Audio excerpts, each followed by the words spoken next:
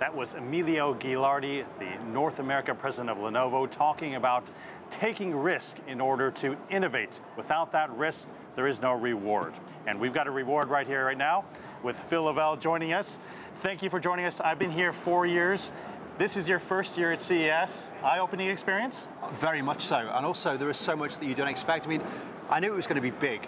I didn't know it was going to be this big. You know, the fact that it is split across town, different zones. And I mean, just like this is one hall of, of like three, I think it is. We've got three big halls. This is one, and it will take you half a day just to walk around.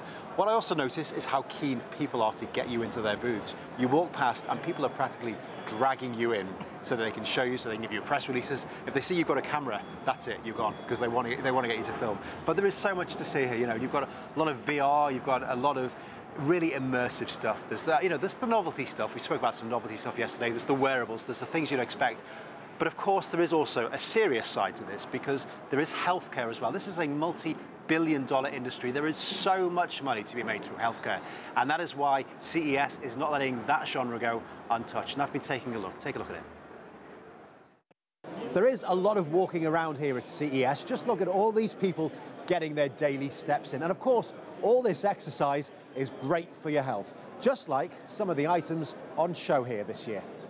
Kang Res has flown all the way to Las Vegas from China with his spoon. This one is for Parkinson's sufferers. The new generation product can interpret the different mode when you use it. For example, it, it will uh, know when you collect the food from the dish and when you transport the food into your mouth.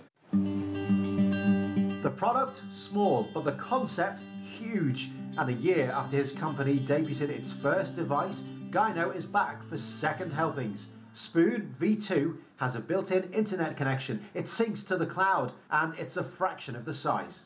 There's many sensors in the spoon, so it, it will tracing the movement of your hand and use the motor control system to make this more stable. Health is absolutely huge this year, from sleep to sun exposure to sugar sensors. There are thousands of solutions to an alphabet of ailments, even some for keeping those ailments in check, providing new solutions to old problems.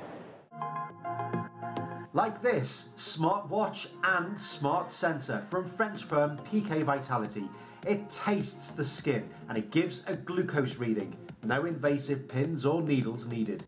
The pill drill helps those on lots of medication keep on top of their dosage in an ultra connected way. My father grabs his pill bottle, takes the top off, pill in hand, water. As he puts it back down on the counter, he simply waves it in front of the device. Light diffuser ring, sound, and screen indicate that he's taken his medication correctly. And then about five or 10 seconds later, I get a notification wherever I am in the world in real time that my dad has done what he needs to do. That just came through. Very simple, no habit change required. And this company has invented an eye test that can detect autism in babies at 12 months. Current diagnoses happen at four to five years. We really felt like this could have a huge impact. It affects a large number of people and it's increasing. A lot of the technology here is from startups, but of course the big boys are here too, like Philips, 125 years old, but moving with the times because it knows that wearable sensing technologies are now putting the patient in control. They can monitor their own health, they can go home earlier, they can connect what they measure at home with the doctors in the office or with the dentist in the office.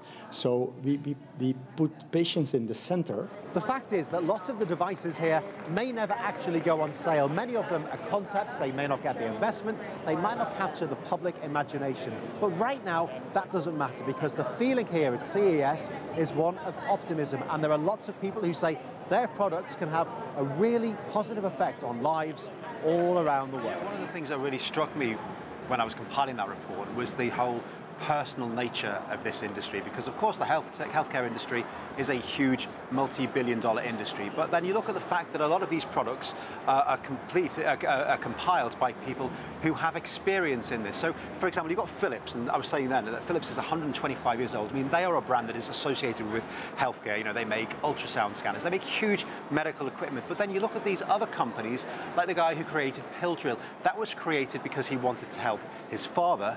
Uh, you look at the guys who created the Parkinson's uh, disease software Spoon. That is also created through necessity. And they often say that the best business ideas, uh, don't they, Mark, are created by people who not necessarily want to make a huge amount of money, but they just want to create something that solves a problem. And ultimately, you know, that might make money for them in the future, but there is kind of a, a personal side to it this technology has the potential to really impact lives and, and, save lives. Yeah, and also, you know, one thing that also affects all of our lives is sleep. You know, I was talking to a guy before who was a sleep doctor who was saying that the market here for sleep products is huge. And you don't really tend to think of sleep as being something that you could get so many products from, but he was saying, you know, you've not only got the sleep trackers that many of us wear, but people have got pajamas now that regulate your body temperature to make sure you get the best night's sleep. Things like that, the mattresses that move in the night to make sure that you're in the optimum position.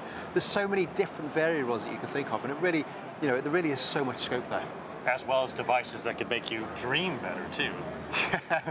Especially after the last few days, I think we could probably all do with some sleep as well. That's right. Thank you, Phil, very much for that special report. Stay with us. We'll have much more, including all the day's market action.